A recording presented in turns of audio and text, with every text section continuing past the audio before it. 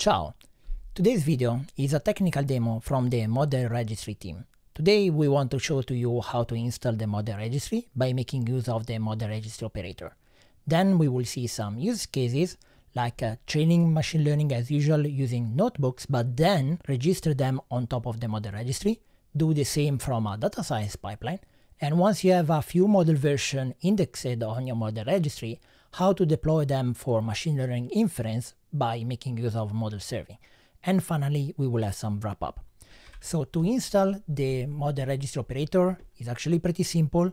It's just a matter of following a few steps of installation and we can follow along in today's video. The first step will install a custom resource definition on top of my Kubernetes installation here. And as you can see, now a new custom resource definition is available. I can install the operator by deploying that and uh, I can notice that because in my namespaces currently the operator sit in its own uh, namespace. And finally I can uh, make the installation. So I can do I, I want to say here kubectl apply. I have some samples here ready for today and we can follow along we will see that now a new model registry instance is coming available. So this is uh, the very few steps that are required in order to have a model registry instance, and now we will uh, follow along in the steps that we've seen in the agenda. Cool. So we have our ODH project here uh, that we will use for today's demo, and we will start as typical from some Jupyter notebooks. The project that uh, we're going to use for tutorial today is a very simple kind of a hello world. And uh, what we want to do is that uh, we have some training set. Uh, so here we're displaying an image and the label is the number three. And our goal will produce a, will be to produce a machine learning model that will be able to make a prediction. So that if I give it an image such as this one, it will be able to predict that is the number four. So nothing too fancy, just an hello world. So what we will be doing today is that uh, we have uh, the training set. Uh, I can uh, make the training of a neural network, very kind of like hello world neural network to make those uh, kind of predictions. And uh, as the model has finished training, we can as well compute some metrics, in this case some accuracy score here. So I always prefer to try run the result. So here if we give it this image, okay, predicts label 4, which is the one that we would expect we can save that one as an ONNX uh, type of file. So we are saving that uh, uh, as an ONNX model and we can as well dry run as well that serialization format. And uh, again, if we give it the same uh, image, it predicts uh, the same output. This is what we would expect. I can store this one on a bucket, on an S3 bucket, and then I can index that one in the model registry. So what uh, this operation is doing, as we can see, we get some back some ID, and this is the training uh, of a first machine learning model. If I go to the Minio console here, I can as well refresh, and I can see that uh, this uh, model has been indexed. We will be doing some REST uh, API exercise in just a second. Uh, before getting to that, I want to display a second step where we will do the similar exercise. Uh, so same training and test set, uh, but we using a different kind of uh, neural network. In this case, it's a convolutional neural network. So we will let it do its training job as usual. And then as the model has finished training, we can as well compute some metrics. We can dry run as usual. So if we give it this image, it predicts 4. We can save this new machine learning models again as an ONNX file uh, I always prefer to draw on it. So again, if we give it that image, it spits me out its label number four. This is what we would expect.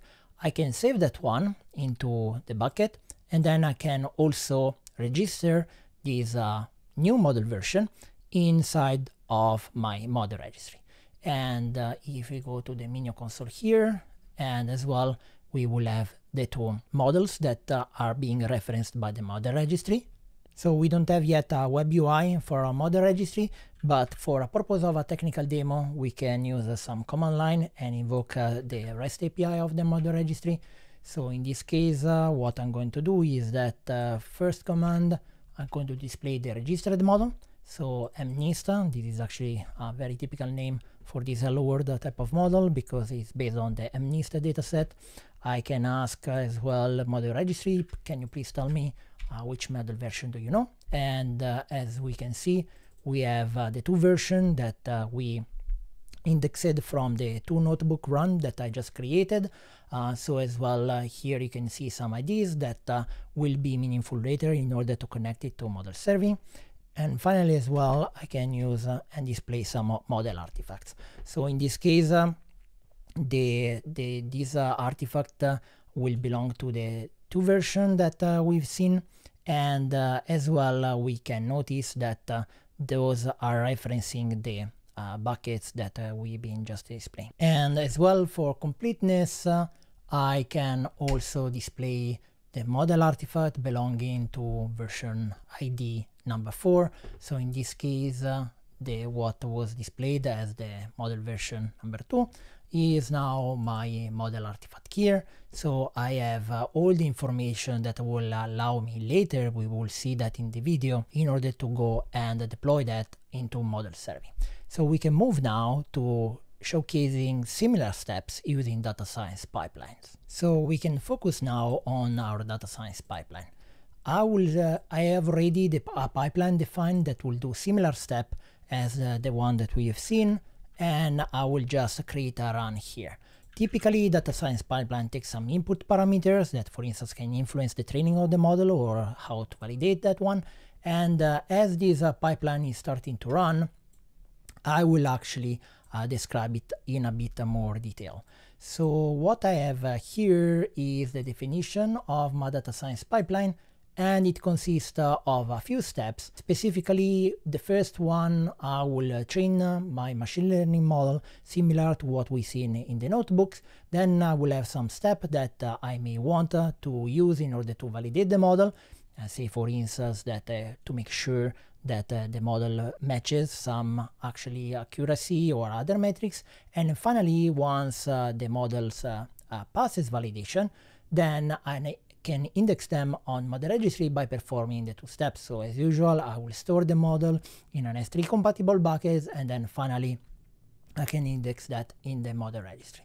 So we can see that uh, now the we can uh, what has been happening is that uh, the model has finished training. We can follow as well for the logs.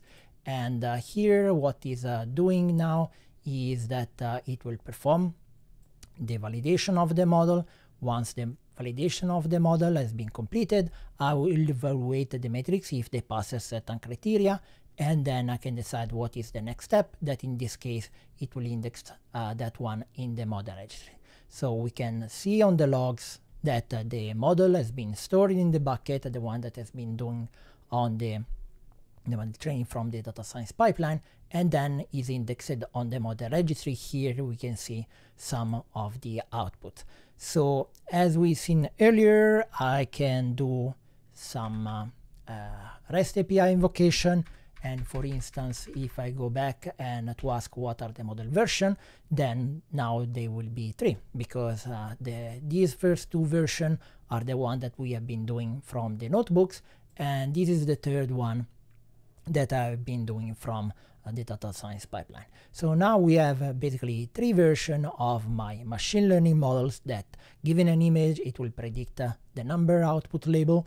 And then we have indexed that on the model registry using these operations. Before moving to the next step, step, I just want to highlight that this is just a demo data science pipeline. The important part that uh, we wanted to bring relevance here is that uh, the indexing of the model that is done in this step, for instance, may have not happened if uh, for whatever reason while we try to validate the model, then we evaluated that uh, that model does not match our requirements and therefore we might want to do something else. So in this case, uh, this step has not been executed. In this step, for instance, I may choose not to index the model on the model registry.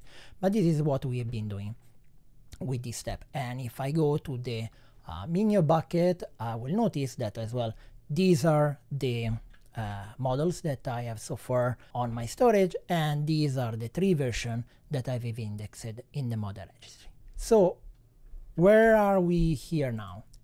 We are in a situation where basically we have been using Jupyter notebooks, uh, we have been using data science pipeline, and we have stored some metadata in our model registry.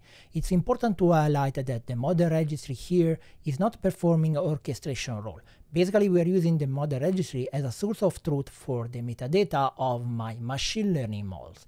And now what we want to do is that we want to move and actually provide some model serving based on some information that we have on the model registry. But it's not the role of the model registry to do this action. What uh, is the role here that we will be seeing uh, coming along is that uh, we will put some entity information inside the model registry and uh, thanks to, to the typical Kubernetes pattern we will have the model controller that will perform some reconciliation loop in order to deploy the model that we want on the model serving we can see how to do that in the following steps. So speaking of deployment of our machine learning model, indexed and registered on the model registry and deploy that for model serving, we can observe that in my project, I have here already a model server name called mmserver1 available. If I go to the model registry and I ask to display which are the serving environment that uh, this uh, model registry knows about, we will see that there is one. And this is because uh, in the model registry controller, what is happening is that there is a reconciliation loop happening. What basically ends up happening is that um, there is a controller reconciliation loop that uh, given the status of my Kubernetes cluster in this case, is providing some entities inside the model registry. And now what I can want to do is that I want in the model registry to signify I want to deploy a given model on a specific model server. I can do that uh, using some command line options. So I can move here uh, to the command line and what I'm going to do is that by issuing this command I can display what uh, are the inference service that I want uh, to have. And uh, what this step is been doing is that, uh, so I've entered an entity here, a reconciliation loop will trigger because a new entity will be noticed and therefore my new customer resource will be defined for model serving. So the model registry here is not an active orchestrator, it's just a repository of metadata and my source of truth. What I want to do for this uh, model controller, if I go back uh, here, so I can notice here that uh, my model has been uh, deployed for model service and uh, if I go here I will notice that uh, the uh, model is now available and an inference point can be consumed. What I can do as well is that uh, if I go to the command line I can actually undeploy this uh, this inference service which is ID number 6 and I will tell it to undeploy what will end up happening is that uh, that deployment will be removed from the cluster. And as we notice now, the model is no longer available for inference. So just to recap, what has been happening with these two operations on the command line is that I've created an entity in the model registry to signify I want to deploy this model that the model registry knows about and the model controller triggers a reconciliation loop which based on this metadata will create the custom resource in this case for model mesh in order for the models to be served. So again, this is just uh, to recap that the model registry does not play the role of an active orchestrator, but we're using that as a repository and source of truth of a model metadata.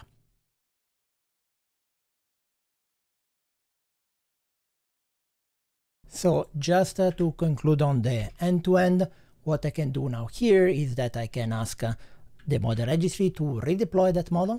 So again, what we have been doing here is that uh, we are creating some entity in the model registry, a reconciliation loop will trigger, will create the custom resource for the model mesh model serving. So the end result is that I will have an inference endpoint that can, I can make use of uh, for my trained model. So now that uh, the inference endpoint is available, I will need it uh, later. So I'm just copying it uh, here uh, for my use. And uh, then uh, what I can do is that I can go here to my project and actually I can take the role of developer. So I can go to my data science project and uh, now that I have a model uh, uh, deployed for inference, I can actually create some intelligent application in order uh, to make use of that inference endpoint.